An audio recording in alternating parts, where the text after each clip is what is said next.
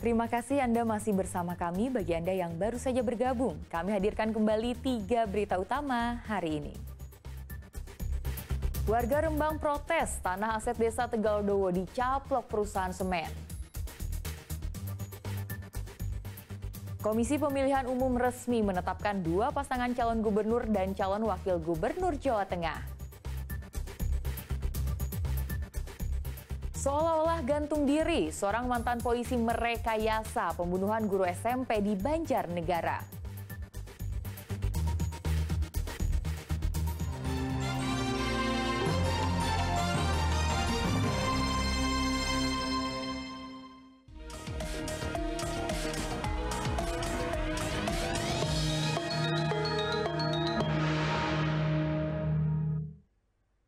Komisi Pemilihan Umum resmi menetapkan dua pasangan calon gubernur dan wakil gubernur Jawa Tengah.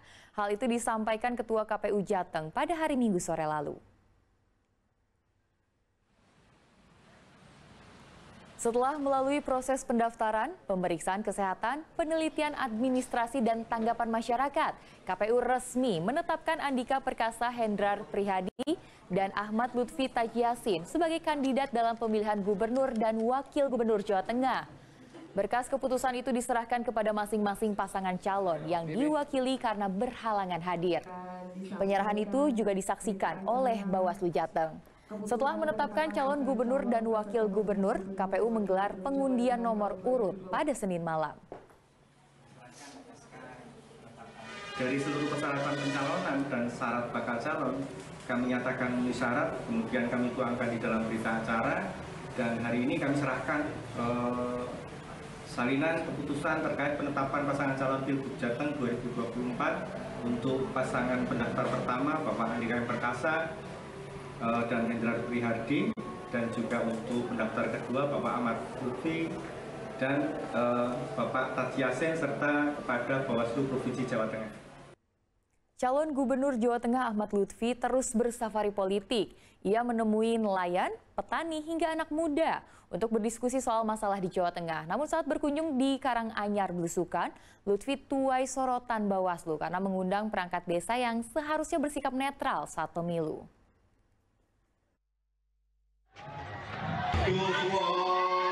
Calon Gubernur Jawa Tengah Ahmad Lutfi mendatangi objek wisata pantai selatan di Kebumen Minggu siang. Dalam kunjungan ini, ia bertemu dan berdiskusi dengan nelayan setempat. Ia pun kembali menegaskan akan menjalankan pesan dari Presiden Joko Widodo jika dirinya terpilih jadi Gubernur Jawa Tengah. Pak Lutfi mau nyalon gubernur, saya titip pesan. Yang pertama, petani yang kedua, nelayan. Mana nelayan? Tepuk tangan untuk semuanya. Yang ketiga, para pemuda dan pesantren untuk didukung dan didorong. Usai bertemu dengan ratusan nelayan, Lutfi kemudian mengajak makan para pengelola TPI Kebumen di area tempat wisata Pantai Selatan. Usai dari Kebumen, mantan Kapolda Jawa Tengah itu bertemu dengan generasi muda di sebuah kafe kawasan Tembalangan, Kota Semarang. Dalam pertemuan itu, ia mendorong generasi muda seperti generasi Z untuk aktif dalam industri kreatif yang bisa meningkatkan pengelolaan sumber daya alam dan pengembangan desa wisata.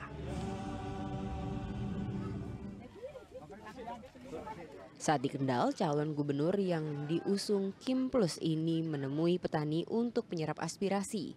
Salah satu pembahasan soal sulitnya mendapatkan pupuk bersubsidi. Lutfi menegaskan bahwa kuota dan harga jalan tertinggi pupuk di seluruh Indonesia seharusnya sama dan tidak ada permainan harga. Banyak permasalahan yang harusnya kita bisa mengumpulkan dari jatah pupuk sesuai dengan RDKK yang RDKK itu biasanya satu tahun sekali harusnya tiga bulan sekali harus harus di di upgrade di upgrade sehingga ada perkembangan di wilayah ini itu yang kurang pupuk apa gitu. sehingga permasalahan di bawah kurang kurang kurang terus pada secara nasional kita sudah menembus angka 4,7 juta ton Sabtu sebelumnya, Lutfi sempat bertemu dengan perwakilan perangkat desa di salah satu rumah makan di daerah Colomadu, Karanganyar. Dalam pertemuan itu, Lutfi membahas soal pengentasan kemiskinan dan peningkatan kesejahteraan perangkat desa. Pertemuan selama satu jam dengan PPDI itu mendapat sorotan dari Bawaslu Karanganyar. Sebab PPDI termasuk bagian yang seharusnya menjaga netralitas selama musim politik. Adanya pertemuan ini dikaji apakah melanggar aturan atau tidak menjadi hak dari apa Pak calon uh, gubernur, tapi kami berharapnya semuanya bisa dilaksanakan dengan secara Berarti untuk kesempatan kali ini ada temuan pelanggaran atau tidak? Kami belum uh, bisa mendiskusikan ya, artinya ini sudah berjalan, ya, nanti kami kaji bareng sama-sama dulu dan dengan yang lain. Calon Gubernur Jawa Tengah Ahmad Lutfi rutin bersafari politik sejak mendaftarkan diri ke KPU. Ia menyasar kelompok petani, nelayan, dan santri serta anak muda. Tim Liputan melaporkan. Untuk tetap dan tetap tumbuh dan berkembang, jangan sampai Calon Gubernur dan Wakil Gubernur Jawa Tengah Andika Perkasa Hendrar Prihadi terus mencari dukungan untuk memenangkan pemilihan gubernur. Andika konsolidasi bersama relawan se-Jawa Tengah, sedang Hendi hadir dalam acara deklarasi ratusan advokat. Andika Perkasa bertemu dengan relawan dari seluruh Jawa Tengah di Bawen, Kabupaten Semarang pada minggu siang. Pertemuan ini tak lain untuk menggalang dukungan serta konsolidasi agar menang di pemilihan gubernur Jawa Tengah. Pada konsolidasi ini Andika mendengarkan masukan dan saran dari relawan. Salah satu keluhan mereka adalah minimnya spanduk atau baliho yang dipasang di jalan, sehingga relawan kesulitan untuk mengenalkan sosok Andika Hendi. Tanya memang kan salah satu hal adalah ketidakadaan atau kesedikitannya misalnya baliho. Ya, itu adalah salah satu kelemahan kami. Karena memang kita baru ditetapkan itu dikasih tahu satu hari sebelum pendaftaran ke KPUD. Tapi kami akan berusaha untuk catching up setelah penetapan atau uh, pemberian nomor urut besok. Sementara calon gubernur Jawa Tengah Hendrar Prihadi menghadiri acara deklarasi ratusan advokat atau pengacara dari sejumlah wilayah di Jawa Tengah di sebuah hotel di kota Semarang. Selain menyatakan dukungannya terhadap Andika Hendi, ratusan pengacara ini juga akan mengawal jalannya pilkada, terutama mengantisipasi adanya pelanggaran atau kecurangan. Yang dipungkiri kan kadang-kadang ada relawan yang tidak paham aturan atau punya punya pemahaman lain dia melanggar-langgar aturan. Nah, yang begini ini fungsi dari tim advokat sangat Mereka kemudian uh, punya pemahaman tentang tata cara, peraturan terkait dalam pilkada. Nanti juga akan melakukan bantuan hukum kepada teman-teman barangkali ada yang di lapangan keliru-keliru. Sebelumnya Andika Hendi secara resmi ditetapkan oleh KPU sebagai calon gubernur dan wakil gubernur Jawa Tengah setelah mereka melewati beberapa proses persyaratan. Yulianto melaporkan dari Kabupaten Semarang.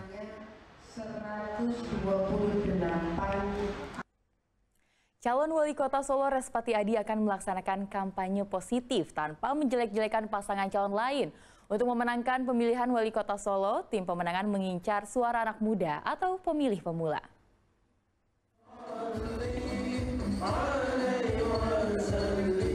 Respati Adi menghadiri acara keagamaan di kantor DPD Golkar Solo. Kehadirannya tak lain meminta dukungan penuh kepada partai berlambang pohon beringin itu agar dirinya dapat memenangkan kontestasi Pilwalkot Solo. Respati Adi dan Astrid Widayani berjanji akan melaksanakan kampanye positif tanpa menjelek-jelekan pasangan calon lain. Ia akan turun langsung ke masyarakat untuk memperkenalkan diri serta visi misinya sebagai bakal calon wali kota Solo. Saat ini khususnya lebih disiplin, lebih disiplin turun bisa mengenal lebih dekat masyarakat. Kuncinya dekat dengan masyarakat mengenal masyarakat dan tahu apa yang dikehendaki oleh masyarakat kota Surakarta. Jangan sampai kita ada narasi jelek-jelekan atau merendahkan kita membawa narasi yang berbahagia kampanye yang ceria yang menghibur masyarakat. Sementara itu, Ketua Tim Pemenangan Respati Adi Astrid Widayani, Joko Sutrisno, menegaskan akan mengincar suara anak muda atau pemilih pemula.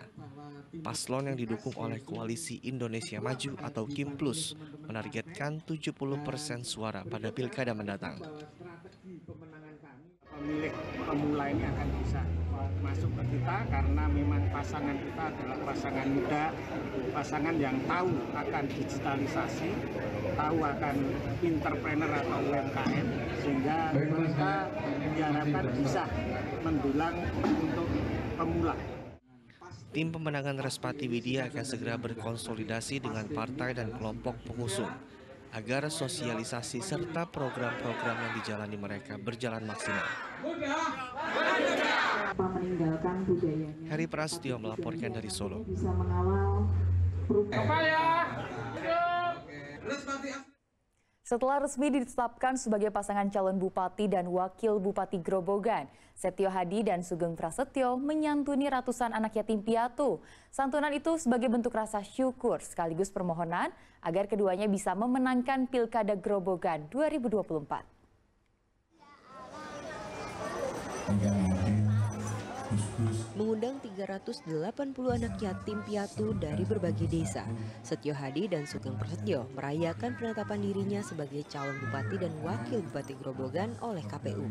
Bertempat di rumah Ketua DPC PDI Perjuangan Grobogan, berbagai hiburan diberikan untuk para anak yatim piatu.